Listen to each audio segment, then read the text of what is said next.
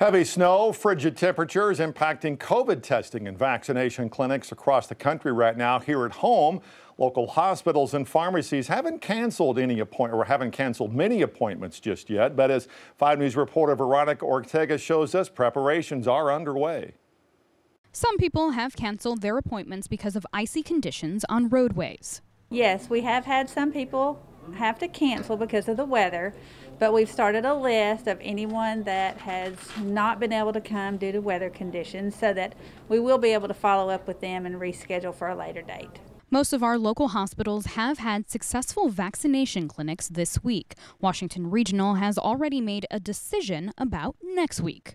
Next week, um, we chose to, to cancel Monday and Tuesday, um, not only for the snow, but also the temperatures, because we are doing a drive through outside. Um, and for our staff, um, it's, you know, we felt like negative temperatures was probably not a good idea for them, for their uh, personal safety. Winter weather has also impacted COVID testing.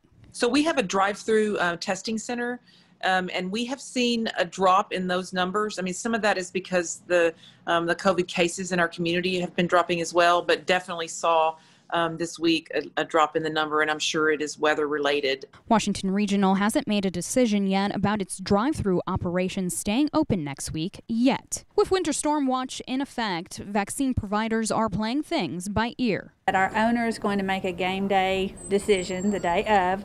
We will try everything that we can in order to be able to continue to have our COVID vaccination clinic, but there is a possibility that we would be, have to cancel for that day, in which case I have everyone's information that has an appointment that day with us, and so I would be able to call them and reschedule. In Fayetteville, covering news where you live, Veronica Ortega, 5 News.